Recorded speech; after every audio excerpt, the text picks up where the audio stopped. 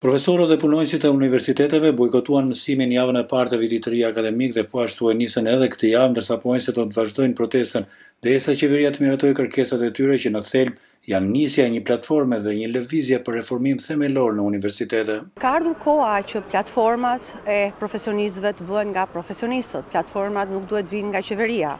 Pra ne nuk protestojmë dhe të presim që qeveria të bëjë platformën për universitetet. Ne mendojmë që duke protestuar, duke kërkuar, duhet të jemi po ne vetë që të japim zgjidhje. Profesorët po organizojnë në sheshin para korpusit qendror të Universitetit të Tiranës një forum akademik me moton Arsimi i lartë publik duhet të jetë një prioritet strategjik kombëtar. Këto janë kërkesa minimale, jo vetëm për pjesën e pagës, por është dhe për kërkimin shkencor i cili është shumë i rëndësishëm. Thembra e Akilit e një universiteti është kërkimi shkencor.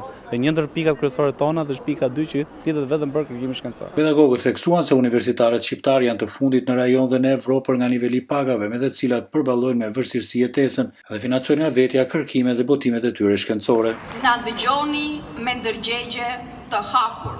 Sepse po ju trokasin ata pedagogë që duan ndryshimin. Po ju trokasin pedagogët e thjeshtë. Kryetari i Sindikatës së Universiteteve, Aleksandër Kovaçi, lexoi një letër të hapur drejtuar autoriteteve më të larta shtetërore të Shqipërisë dhe selive diplomatike perëndimore ku bën thirrje që përmes reformimit të universiteteve të frenohet largimi i studentëve dhe i pedagogëve shqiptarë nga vendi. Kryeministrit të Shqipërisë i kërkojmë të ndalojë intimidimin ndaj drejtuesve të sindikatës së Universiteteve të Shqipërisë dhe trupës akademike dhe të trajtojë me seriozitet maksimal kërkesat që kanë për qëllim përmirësimin e gjendjes në arsimin e lartë publik si e vetmja mënyrë për rikthimin e shpresës dhe frenimin e shpopullimit të vendit. Pedagogët protestuan sot për të gjashtën ditë në sheshin para Universitetit të Tiranës duke këmbëngulur në nëntë kërkesat e tyre ekonomike të renditura në peticionin drejtuar qeverisë duke i cilësuar ato si minimale dhe të domosdoshme për mbijetesën e tyre. Kam parë kolegë të mrekullueshëm të cilët kanë kurajën të marrin pjesë në protestë pavarësisht presioneve, të debatojnë me argumente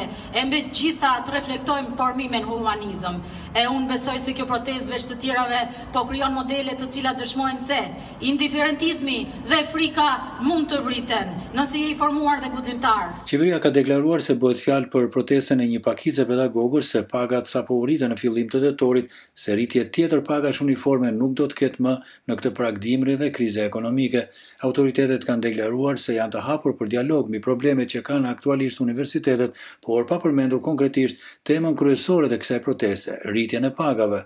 Për Zërin e Amerikës, Ilirian Agolli, Tiranë.